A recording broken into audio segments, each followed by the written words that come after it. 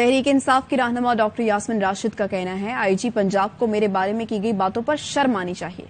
मैंने हमेशा पुरम एहतजाज की बात की है। उन्होंने इल्ज़ाम आयद किया कि मुजाहरीन में शामिल पुलिस के गुल्लू बट्टों ने तोड़फोड़ की। डॉक्टर यासमिन राशिद ने पीटीआई को दहशतगर्द जमात कहने पर मरियम नवाज़ को भी तनकीद का निशाना बनाया।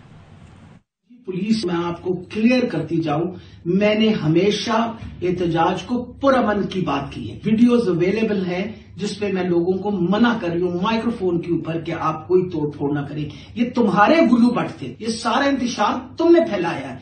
ये सारी तोड़फोड़ तुमने करवाई है। इस पाकिस्तान से तुम्हारी कमिटमेंट है। हुकूमतों से कोई कमिटमेंट नहीं होती। ये लेवल प्लेइंग फ़ील्ड जो मरियम नवाज़ मांगती थी और आज जो हमें टेररिस्ट ऑर्गेनाइजेशन कह रही है, इसको शर्म आनी चाहिए। हम उस वक्त तक पूरा मन एहतजाज करेंगे जब तक इमरान खान रिहा नहीं होते।